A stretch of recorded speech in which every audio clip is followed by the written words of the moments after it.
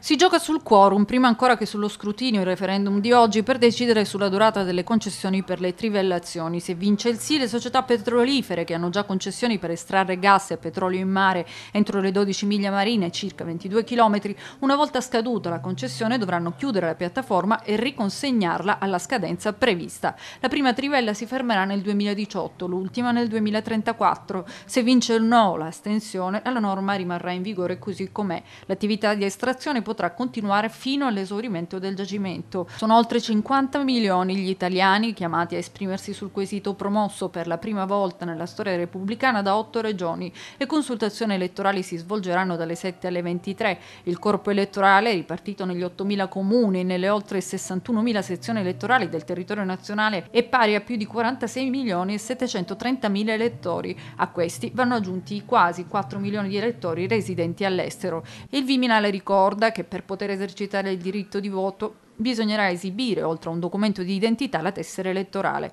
Qualora non si rinvenga la propria tessera elettorale o si rilevi che gli spazi per l'apposizione del timbro sono esauriti, spiega il Ministero, si potrà chiedere una nuova tessera agli uffici comunali che assicureranno l'apertura al pubblico anche oggi e per tutta la durata delle operazioni di voto dalle 7 alle 23. Lo scrutinio dei voti inizierà subito dopo la chiusura dei seggi. I risultati saranno pubblicati sul sito internet del Ministero dell'Interno. Loredana colloca per la CNews 24.